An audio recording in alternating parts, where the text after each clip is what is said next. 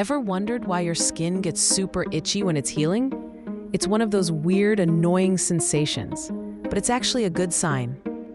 The itch you feel during healing is caused by your body's natural repair process. When you get a cut or scrape, your immune system sends special cells to fight infection and rebuild tissue. As the new skin forms, nerves in the area become more active, especially as the skin tightens and regenerates. Histamines, which help control inflammation, also get released, irritating those nerve endings and triggering the itchy sensation. So believe it or not, that itch means your body is doing its job. It might feel annoying, but that itch, it's your skin's way of saying, I'm fixing things.